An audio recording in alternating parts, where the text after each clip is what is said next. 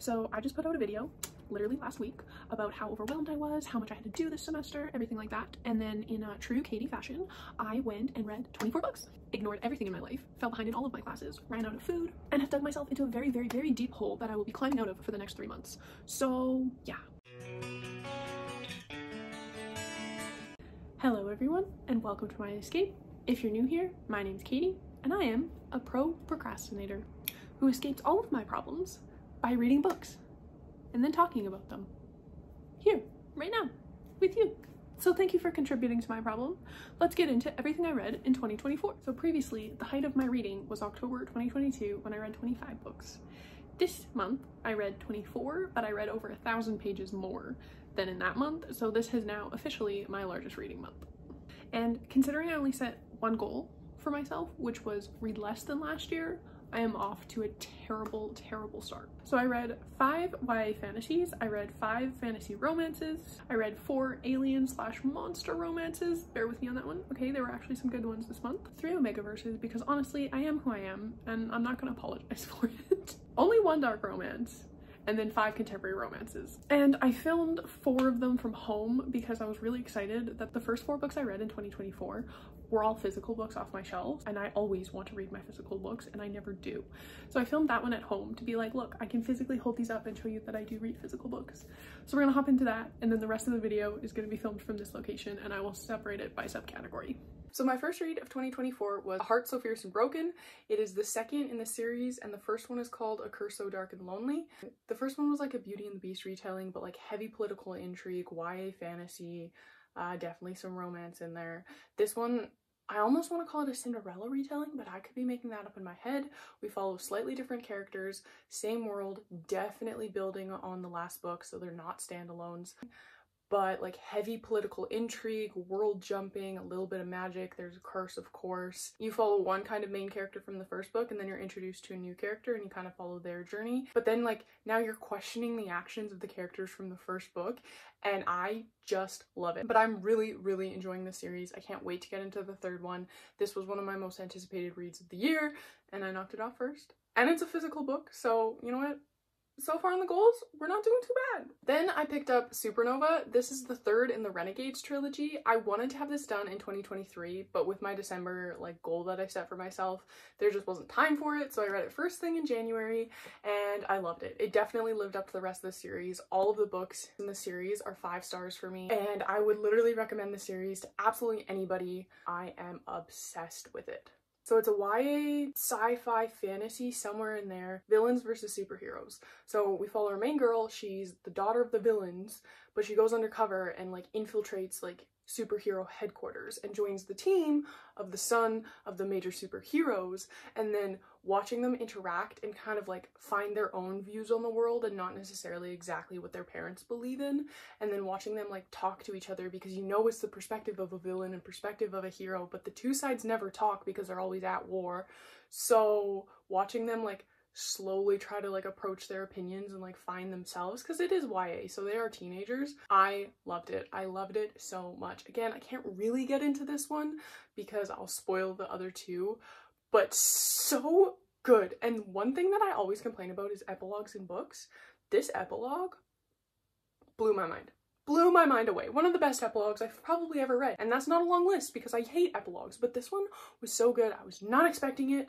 I need so much more from the story now. There's a potential that she might continue the world like in the future at some point. There's nothing concrete, but she did say this is a world she would like to come back to, the author.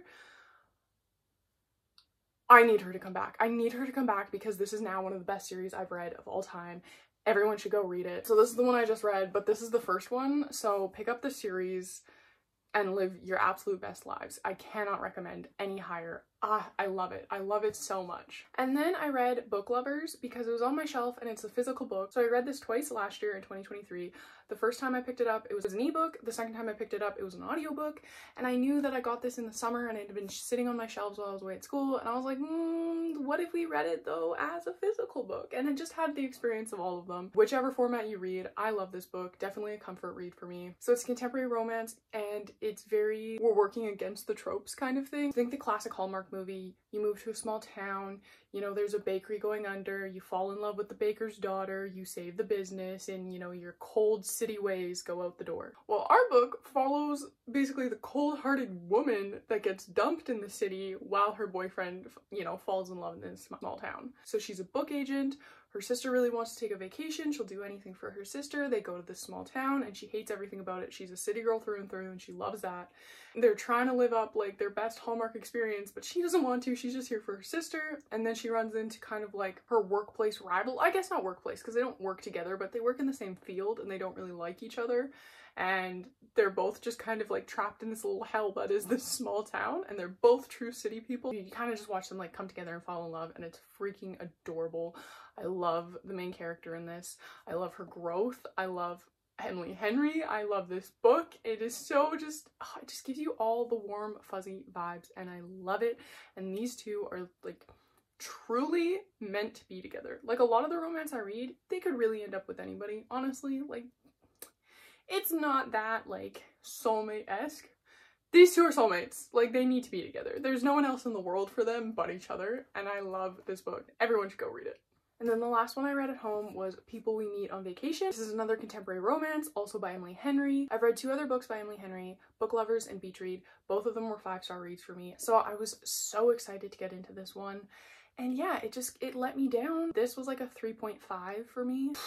I don't know, I just didn't care about the characters. I don't really feel like they gelled or that they made any sense together. And that was the theme in the book is that they didn't make sense together, which is why they waited so long to get together. But at the same time, I still don't think that they belong together. I'm sorry, I'm sorry. I just, you're not compatible to me on any, on any ground, any basic anything.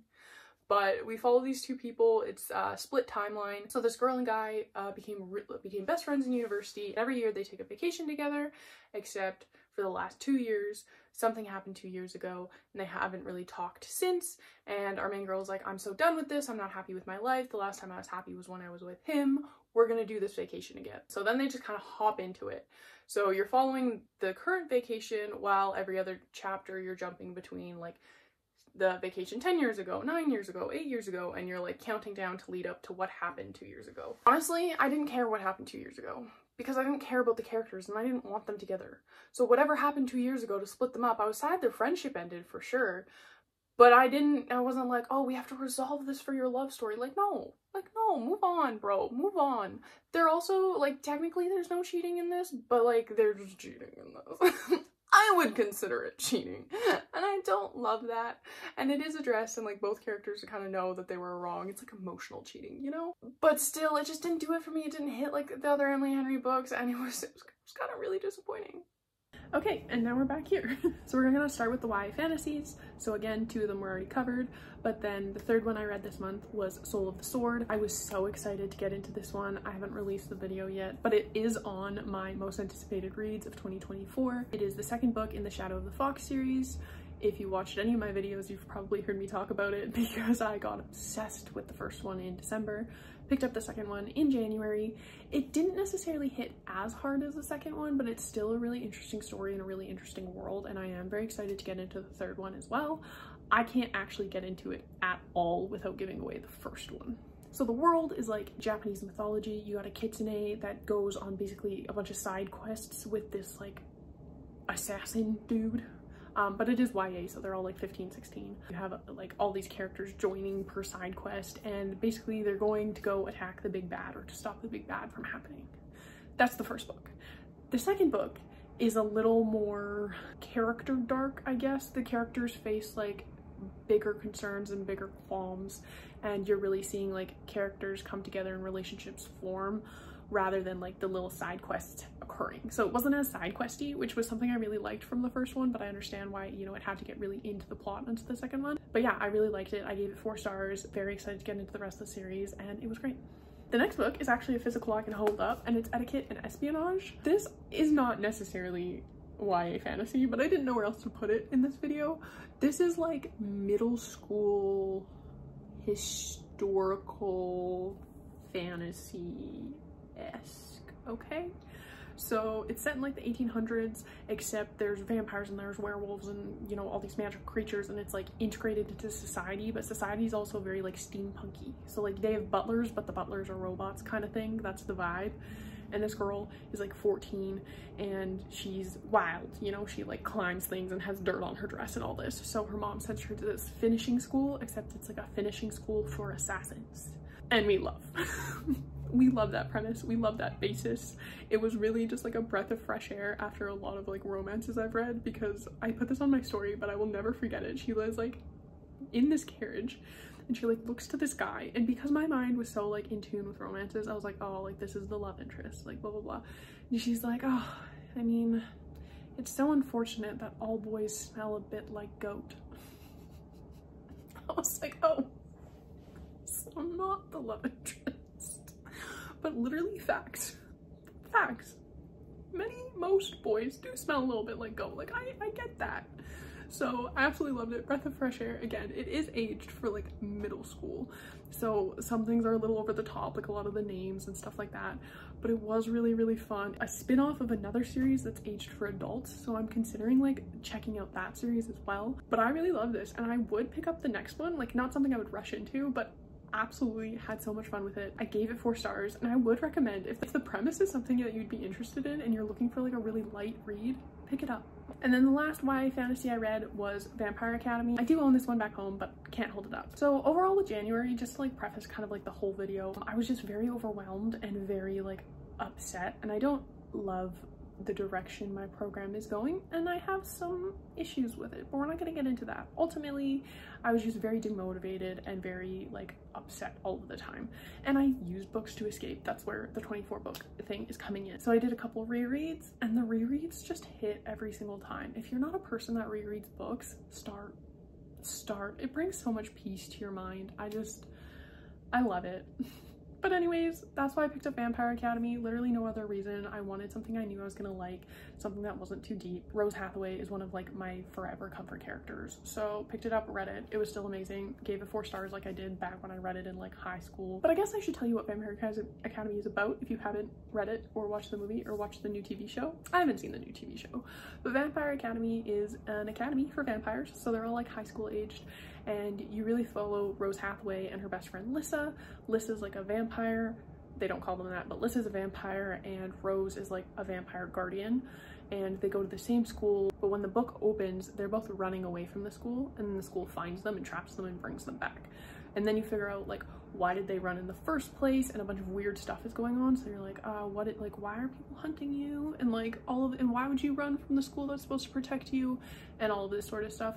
Um i just really love it because i love rose hathaway. She's like so badass. She's amazing. She's the highlight of my life. She's funny. She doesn't take anything from anyone. Like it's just great. It's just great. I will say though there's like a sub subplot of like a student teacher romance going on which just icked me at the time and icks me now. Student teacher is really not my thing. But if you like student teacher, you will love, love this book. Just saying. But yeah, very angsty, very vampire high school-esque, you know, all of that. All of that is definitely in there. You got high school drama, you got bullies, you got cliques, you know, everything like that is happening. So have a blast with it. And that bridges us really well into fantasy romance. So the first of the five fantasy romances I'm going to talk about is Fourth Wing. This was another reread for me. Again, slapped, really scratched that itch in my brain of like truly just being able to like let go. And I'm not trying to like guess plot lines or follow stories or follow characters. Like I know what's going to happen. I'm just immersing myself in that story again. But Fourth Wing is a five-star read for me. It's another academy, but it's more like it's a war college. So they're not in high school. They're more like college aged but it's not like university in any sense of the word. Once you hit 20, you have to enroll in either a scribe, a healer, um, in like the infantry military type thing, or be a dragon rider. And dragon riders, basically it's like 50% of them die before they ever ride a dragon or something like that, or before they ever graduate school. And we open on our main girl and she's like, I have raised my whole life to be a scribe, my whole life six months ago, my mom told me I have to go and be a rider and the riders are gonna kill me because everyone dies anyways. And she has some sort of physical chronic disease type of things like her joints pop out really um, easily and she breaks bones and bruises really easily. So she's like this is not the place for me. But she's like either I do this or my mom kills me. So then then we go and she's like oh god and we find out that not only does she have to survive this war college she also has like an immediate enemy based off of something her mother did. As soon as she steps on those gates this person's like I would like you dead. And so would all of my friends. And she's like this is great. This is wild. This is a great time. And then you just watch her try to survive. It is honestly so fun. Like it is so fun. The story's really good. The world building was like decent but the dialogue the banter i love violet. Like I, I love the dragons like any book with dragons but especially like the dragons in these ones had an absolute blast with. Highly highly recommend the story. Again it's a five star for me so go and enjoy it and love it. And also part of the initial reread for me was because i wanted to get into my next one which was iron flame. This is the second one to fourth wing. I did get it like the week it was released and then I waited like three months to read it. But then I wanted to not forget anything from Fourth Wing, so that was the initial reread of Fourth Wing. Then I went into Iron Flame. Again, can't get much into this one without giving away the first one. This one, I will say though, had a lot more world building aspect kind of brought in. So the first one I felt was really more like a fantasy romance and it did like establish, you know, the characters and the dynamics and like the romantic relationship. This one to me established more of the world and the politicking and I loved that. I could have done without the romance in this one, honestly. Like by the time you're this deep into it, I'm like, I actually don't care about your relationship because there are so many other more important things going on than your angst. I'm sorry. So this one was a four star for me. With that said, my best friend wants to beat me for saying that because the the romance she's like no it's the best thing and it just gets even better in this one. So it's really like to your taste whether you're in it for the romance or not i loved it. I had a great time with it. Again like fourth wing and these this one i have to talk about together but i would highly recommend highly highly recommend. And don't look it up online because you will be spoiled. You will be spoiled. There's so many spoilers out there and like people like started releasing iron flame spoilers like a month after you like it was released, which is way too early for me. Like if you're gonna spoil something like A Court of Thorns and Roses, like okay, that's been around for a very long time, but like a month. So just don't look it up, take my word for it. Start with Fourth Wing and then come into Iron Flame. So then I read another fantasy romance that's also really blown up on the book platforms and it is Divine Rivals. Oh my god, did I sleep on this one. Guys, this is so good. And people have been telling me that for months, for literal months. And I've been like, no, have had zero interest in it, okay? I'm saying this to preface because when I describe it to you, you're probably gonna say no. Or maybe it's really your thing, but like you're probably gonna be like, mm, nah. No, okay? Just don't worry about the description, just go and read it. So Divine Rivals is like historical romance fantasy type thing. So you're in a world and it's very like World War One Europe-esque and there's like gods and like hellhound type things and stuff like that. And this is like normal, it's not new, but two gods are warring and they're using the people to fight their war for them. So there's like a war effort going on. That's why I say World War One. But we primarily follow these two characters. They're both employed at the same newspaper, but they're competing for like one permanent position. And one of them finally says, you know what? There's more important things going on and this isn't like where I'm gonna spend my energy. I'm gonna go to the war front and I'm gonna be a war correspondent. But the romance comes in, there's a way that these two characters can talk to each other. One knows who the other is, the other one doesn't, but they essentially fall in love through these like letters while one is away at war and one's not. And you see the dynamics of like being on the war front and everything happening there but then the dynamics of like home and society and then background of like what started the war and like how are they able to talk to each other and where is this magic coming from? Because there's magic in the world and it's not necessarily like a weird thing to have but it is like very sporadic and this is why I say don't listen to my description because the description sucks. That's literally the best I can do to make it sound interesting. And to me, as soon as you say World War One vibes, I'm out. I don't do the historical fiction. I have one friend, that's all she reads is World War II historical fiction. No, no, no, no, no, no, no, no, no, no. So I had no interest in picking this book up, but my friend like begged me to, begged me to. She said it was the best book she read in 2023. So I was like, fine fine, I will. But if I don't like it, I'm gonna put it down. Oh my god, did I like it. It is such a vibe for one like the story's good the writing is excellent the characters are great the romance is there but even just the vibe of the story like it was i was i was like floating in this like in between space the whole book okay it was so good five stars for sure i don't know if i said that but please go read it and don't let like the description wreck it because I promise you it's better than it sounds. We have 24 to get through this month. We need to be moving faster. Okay, then I reread Restless Slumber. I still love this cover and I'm gonna hold it up yet again because I still think it's the most beautiful cover I own. Don't tell my Mindfuck series that, but like I am obsessed with it. I reread this one because I really want to read the rest in the series and I own the next two up there. Again, I wanted to come in like fresh off of what had recently happened. So I reread this one. I did pick this one up on audio on my library just to get through it like a little bit faster.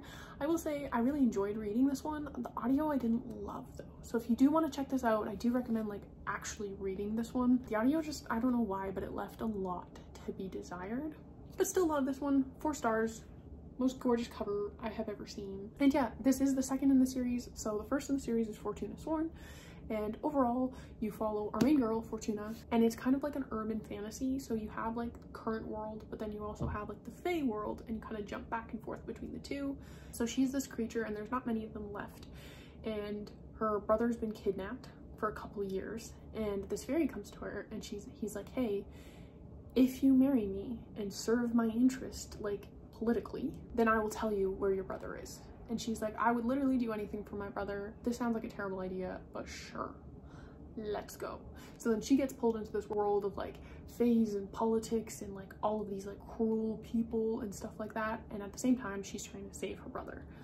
And then it kind of just like evolves further and further from there. The first one wasn't great. The second one was so good. Okay, the first one like barely got a three star from me and this one is like a four star and I love it. So very excited to get into the rest of the series and I do want to pick those up in 2024. It's just one of those things where like when I'm that excited for a book, I won't read it. And then the last fantasy romance I read was really more of like a monster romance, but we're gonna put it under fantasy romance. Okay, it was Radiance. She wrote Entreat Me, which I read last year and I really, really loved, and it was an author I wanted to see more of, but she's not on KU and she wasn't on my old library or anything like that. When I got the new library card, there was a bunch of her work, so I put holds on pretty much all of them. This was the first one that popped up. This is very much like historical medieval vibe, and our two main characters are from two separate kingdoms, but also two separate species, which is where I think the monster part comes in and they have like an arranged marriage because you know second in line for the throne and like niece of the king so they're not taking power over it's like basically like a political alliance but they're not gonna like rule the kingdom kind of thing it's just kind of cute it is the vibe of like it's more of like a mature relationship it's not a lot of angst it is a lot of like let's develop a friendship and like a respect before we develop more and I just really appreciate that with her writing. I didn't like this one necessarily as much as Entreat Me. I did really like like this aspect of they both find each other absolutely hideous, like absolutely repulsive.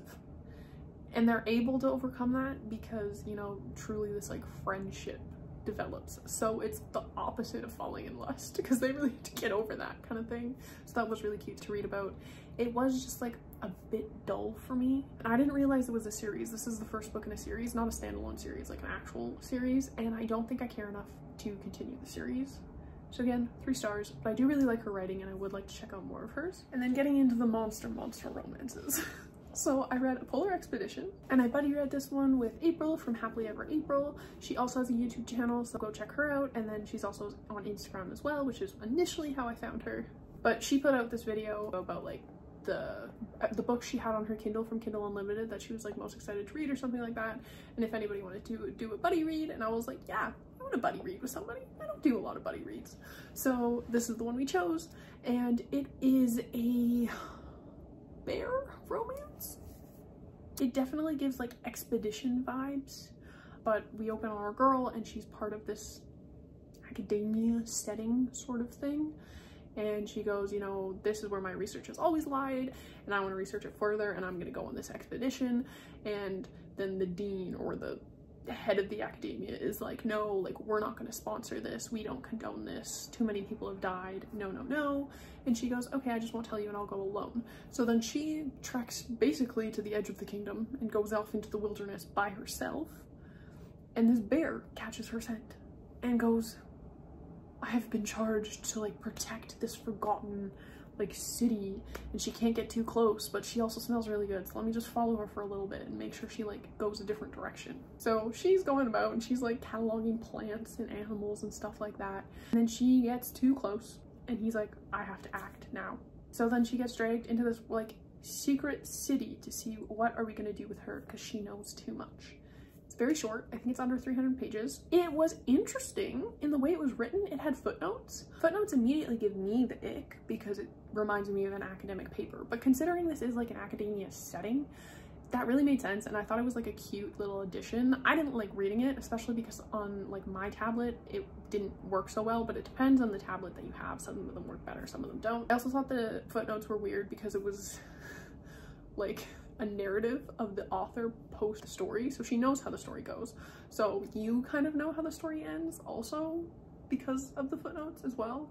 Um, not that you didn't know that this was a romance, but like still, you know. I didn't love it. I didn't hate it. I gave it three stars. It definitely had its moments, but I still felt like it was a little shallow. I think that was because of the length, but there wasn't a lot of depth to the world like I would like there to be. The characters were cute though because they were both very much like, I would like somebody and nobody has really stuck out to me, but this is where I would like my life to go. And then they find each other and they're like, oh, this is perfect because we both want the same things. And I really appreciate when characters want the same things and their relationship actually makes sense. I can support that.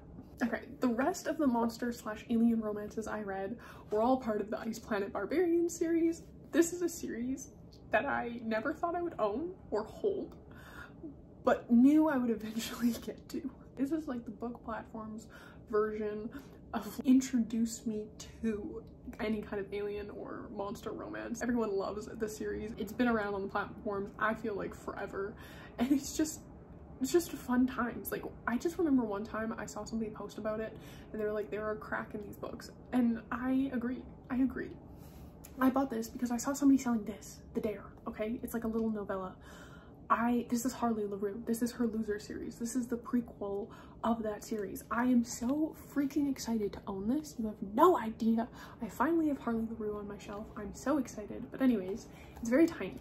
So I was like, okay, if I'm gonna go pick this up, which I know I'm going to do, I have to get other books because it's not worth the gas. I mean, it is for me emotionally, but like rationally, it wasn't worth the gas. So I was like, okay, I'm gonna get this one, which I obviously am, I have to get something else. And then she had this one as well. And I was like, I know I'm gonna get there one day. Like I'm gonna be there one day and I'm gonna be like, okay, let's go. So I was like, might as well have it on my shelf for when I want it. I picked it up like the next day. It was just staring at me. And then I was like, I'm actually so curious. Like, I'm so curious why so many people are obsessed with these blue aliens. So picked it up, loved it. I crushed like four of them in a day. Granted, they're all very, very short. Like I would say almost like novella length, but they're just fun. And they do have crack in them, okay?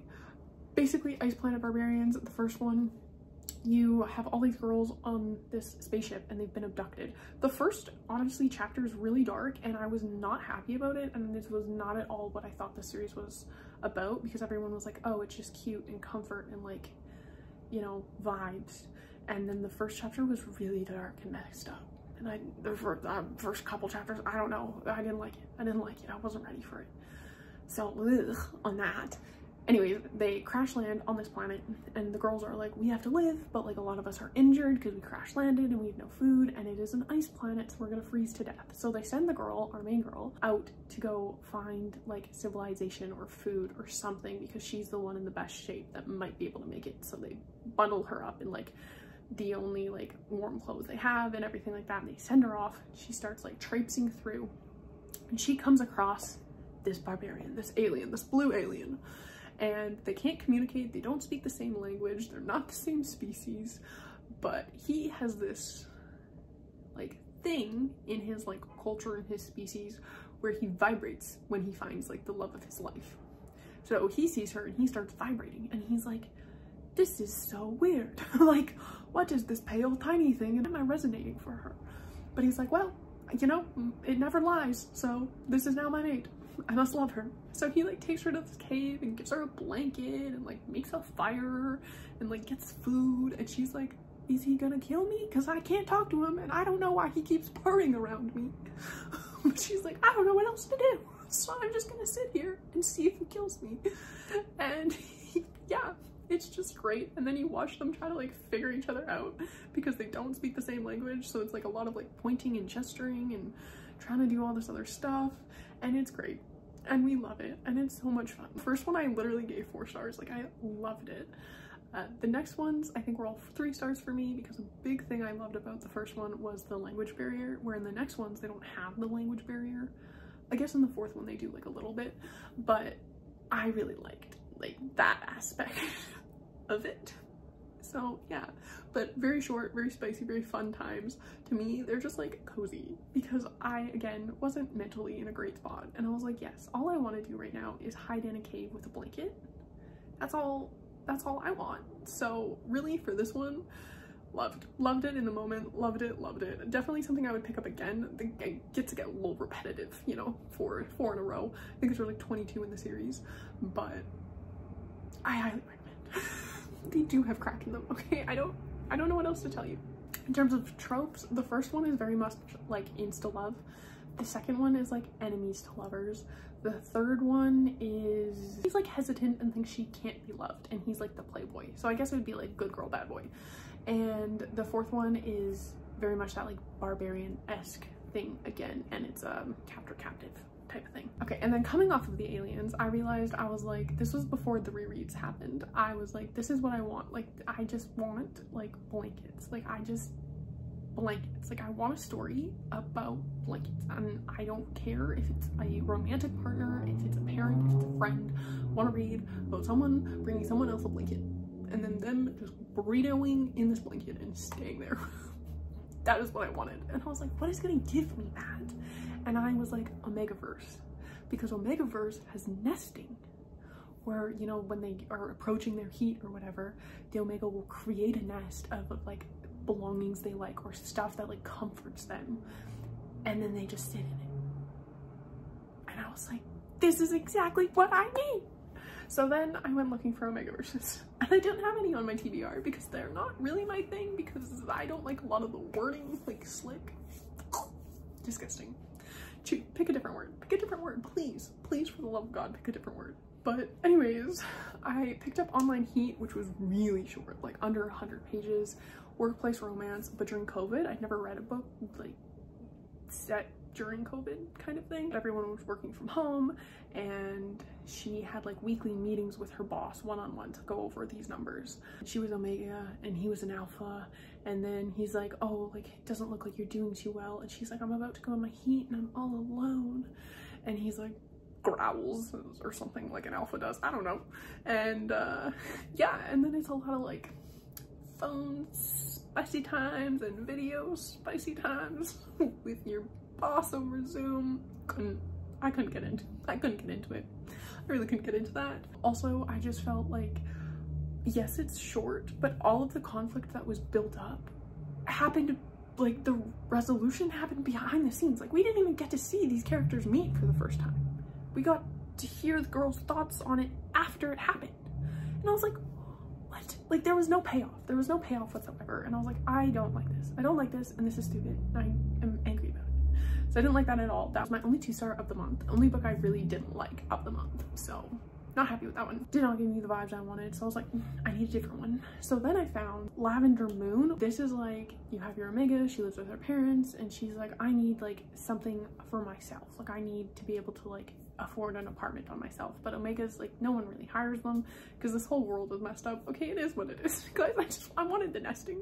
So she starts working essentially at a strip club and her stepbrother finds out and he's like absolutely not. You're going to come and be like my omega for my pack. And she's like but you already have an omega even though i have loved you forever stepbrother. And he's like doesn't matter. They all want you to so yeah that's a different like pack dynamic. You've got two omegas and uh, two alphas and yeah it's just like her trying to like find her place in the, the, scenario. It was very short as well. I think also under 200 pages. It was decent. I gave it three stars. I didn't really like love it. I didn't necessarily feel the connection between a lot of the characters. I think they were looking for something and she was just able to fill it not really it being having anything to do with her. Like i didn't really feel like they had any connection to her. But if you're looking for a step sibling omegaverse look no further. And in that one, she didn't make her own nest, they made it for her. And I was like, this was not what I wanted. This was actually the entire opposite of what I wanted. I didn't even know that was a thing that you could do. So I was I was disappointed in that. So I was like, okay, I'm just gonna reread Omega's Obsession because like my favorite Omegaverse I've ever read, the girl is like a little bit crazy and I knew that she made a mesh that I enjoyed. So I was like, let's go with that one. But essentially this one, she's been in love with her be brother's best friend forever. And she always thought like she'd be his Omega. But then when she like came out as an Omega, he like dropped off the face of the earth and she like barely sees him now. But she's also like a little crazy and she stalks him all the time and like steals his stuff and she finds out that he's in a pack with another alpha and a beta and they're looking for an omega and she's like literally me like look no further like what are you doing so she sets it up so that she like stumbles into their path and then the beta is also a little bit crazy and starts stalking her and then she loves it because she's like, oh my god, this guy matches my energy because they're both a little bit off.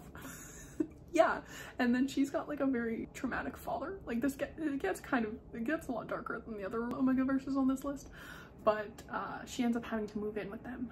And then she's like, this is my world now. I don't care if you want me here or not. But you don't really know why the guy doesn't want her there because you know that he likes her too. So then you have to find that throughout. But essentially this gave me what I wanted. Okay, gave me what I wanted. Okay, it's a four star read for me because she just goes and she goes, I want what I want and I'm gonna steal all of their stuff to make this nest. I'm gonna steal this guy's squishmallow and this one's pillow and this blanket and I'm gonna set up this giant cushion and I'm gonna go to sleep and live my best life. And I love that for her. Okay, I love that for her. A, just I like that she's a little bit, a little bit a lot. And B, I just I knew I was gonna get like I forgot about the Squishmallow. The Squishmallow was honestly such like a, a good positive addition, but I knew she was she was gonna get those like comfy, cozy, like this is perfect for me kind of vibes. So I got what I wanted in the end. But honestly, that feeling and that like want hasn't left me. Whether it is an Omegaverse or not, I don't care. But if you have a book that meets what I'm talking to and gives that level of like comfort, like I just want the the, the character to be comfy. That's what I just want to read about comfy character. Leave it in the comment down below, please, because I will check it out. I'm dying for them right now. I can't really find anything else to scratch that itch. So then on that kind of like darker side, we're gonna go into the dark romance. I only read one of them this month, which was very surprising, but it was Butcher and Blackbird. This has been on the platforms for a couple months as well. Very hard to find. Finally, my hold came up on the library of it. But this is like a serial killer romance. So they're both serial killers who kill other serial killers and then they meet because they went after the same serial killer. And then they're like oh hey oh hey. And then they're like hmm what if we had a competition every year to see like who could first kill like the same serial killer? So then yeah the book takes place over like four years or something like that. And they have a competition every year where this guy who's not a part of their competition picks like a location where he knows there's a serial killer and then he just gives them the coordinates to go and they have to figure out like who's the serial killer and take him out. It sounds a lot more fun than it was. This was less of a dark rom- I mean it's a dark romance because it's serial killers but like it was more of like a rom-com kind of thing with some disturbing elements to it. Some things I feel like they just went a little bit in on that I didn't need to didn't need to read. But yeah, I really expected more out of this book. I still gave it a three stars. It was like a fun time. It was honestly just kind of like a letdown. Like they were cute, but they lacked any kind of tension and I just felt like it went on for longer than it needed to. If this was a story that they wanted to tell, if they told it shorter, like honestly maybe even a novella or like under 300 pages, it would have been better. Um, I just felt like the pacing was off and it kind of dragged. So that was a really disappointing one for me because I had it set to such a high standard, but overall, like a three star is not a bad reading. Okay, and then into the contemporary romances. So we already talked about two with book lovers and people we meet on vacation. The third one for the contemporary romance was Practice Makes Perfect. It is the second in the standalone series. When in Rome is the first one. So I read the second one. This is like small town good girl meets adventurous bad boy kind of thing, tatted up. She owns a flower shop those are the vibes and then they like start fake dating and it's very much like a teach me how to kind of thing overall i wasn't i wasn't impressed I gave it three stars. It wasn't bad. It had its moments. I just felt like this one really dragged as well. And I also did not care about the characters. Either one. Could not have cared less about them. Like they had cute moments, but I could not have cared less about these two characters or their love story together or whether they ended up together or anything to do with that fact. I don't care. Don't care. Wasn't an awful book. Just wasn't really for me. Oh, I will say on this one though, it is a clean romance. So if you're looking for a clean romance, I don't read a lot of those on my channel. This is one of them. So that's an option out there as well. No spice. Another contemporary I picked up this month was You Deserve Each Other, someone I follow on Instagram. Uh, they either posted or they talked about it or they might have responded to my story with it. I can't remember how we started talking about it, but we both love the movie How to Lose a Guy in 10 Days. It's like a 90s rom-com. So good. It's like my favorite rom-com ever. And she was talking about how this book she had just picked up really reminded her of that. So I was like, hey, once you get to the end, tell me if it like stays all the way through and tell me if it's worth reading. So she got back to me a little bit later and she was like, hey, like it absolutely is. It does give a lot of those vibes, like not exactly the same, but that very much like hatred, I'm going out of my way to make you dump me kind of vibe. And I was like, say less, let me pick it up.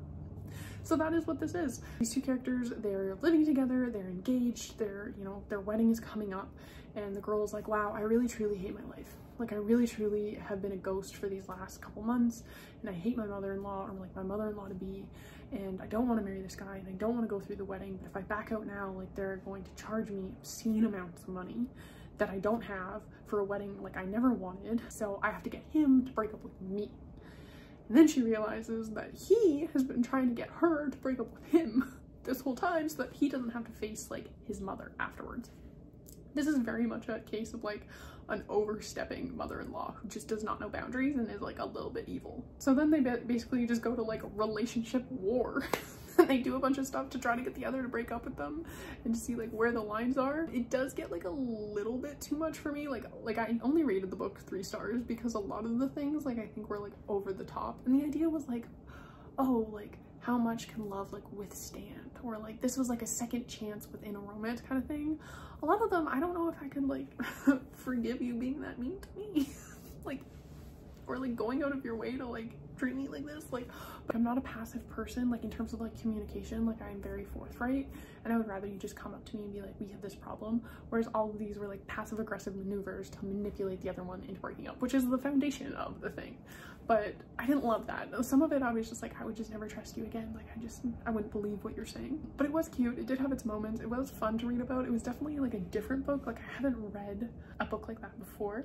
So it was fun and I would recommend this one. And then finally, the 24th book on this list is Archer's Voice. This is another one so I realized that I might have gotten a little ahead of myself thinking this video was ending just because it took a long time to film. I never actually explained what Archer's Voice is, so just kind of doing that now. Archer's Voice follows this girl. She's had a very rough six months and she just kind of breaks one day and goes, I can't take it anymore. I can't be here anymore. So she hops in her car and goes on this sporadic trip and she ends up in this little like seaport summer tourist town and she says, I'm just going to stay here until I can face my life back home. So she rents a place, she gets a job as a waitress, and just tries to settle in. Meanwhile, she keeps having these run-ins with like the town recluse, who's also like in his 20s, so it's odd that he's so reclusive, and the town really doesn't talk about him and they really treat him like he's weird, but she keeps having these moments and this like connection with him and she wants to explore it further. So she goes out of her way to befriend him and to really press to find out what is his story and what is going on. And she finds out that he is mute and that kind of connects with her because she speaks sign language because her dad was deaf. So then she's the first one he can ever really talk with and their love story kind of goes from there. There's also a lot of subplots going on about manipulative people and a lot of drama and then also a lot of trauma and it's just a lot. That I think I put on my TBR in like 2022 on the library. It had it so I put my hold on it. The hold came up. I was so excited to read it. I really enjoyed it for the first maybe like 30 percent. And then wow did it tank after that. It just dragged on and on and on and on and I did not care. I did not care. I don't even think that the relationship is that strong and I don't really like the two characters together. And although like the story was interesting, it there wasn't enough to it. I didn't love the ending. I don't love the couple. The girl kind of got on my nerves a lot. It also had this like weird subplot about like her traumatic backstory that like reared its head later on and I was like, I don't, what? Did not need this, did not need this. That was another big letdown. I gave it three stars, again, not a terrible book, but I think I hit like the 80% mark or the 90% mark and I was like, for the love of God, just end, just be over. Like I truly could not care about anything that happened after this point. And I was so close to DNFing at like 90 or 80% and I was like, no, no, get through it. And I pushed my way through it and it wasn't worth it. It wasn't worth it. So yeah, that was a big letdown. That was a big downer. This is another one that's like all over the book platforms. I don't, I don't really get the hype on this one. But okay, we have done it. This is gonna suck to, suck to edit this video. It's so long. this is why you shouldn't read 24 books in a month because it messes, it messes up your timing for your wrap up. But anyways, it was a really good reading month overall. Over half the books I read were either four or five stars, which is insane to me because like three is a pass, four and five I love. Aside from procrastinating my entire life and digging myself into a really deep, possibly insurmountable hole, um, I really enjoyed my reading month this month. and there's a lot on here I would recommend.